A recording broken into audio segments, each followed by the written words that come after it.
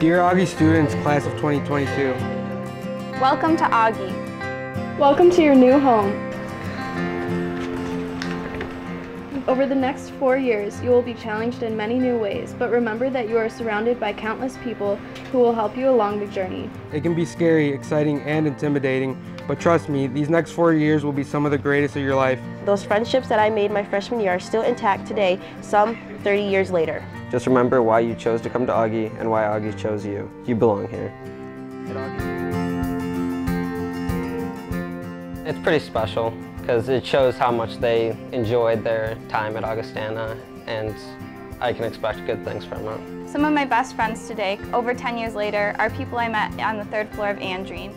It was nice to show that people are still involved and they still care about kids who are coming, even though it's 10 years later or 30 years later, that they still care about people who are coming to the school they went to. It's really nice to know that other people went through the same thing and they have our back and they just care about how our college experience goes and they're here to share their stories with us.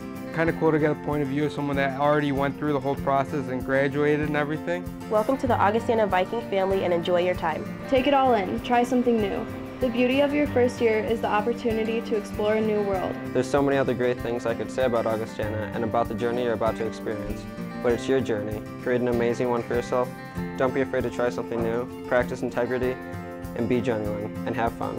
Best, Kelly Malloy, class of 2015. Jessica Laporte, class of 2010. Sarah Berkeley Peterson, class of 1997. Best wishes, Shelley Porter Patterson, class of 1986.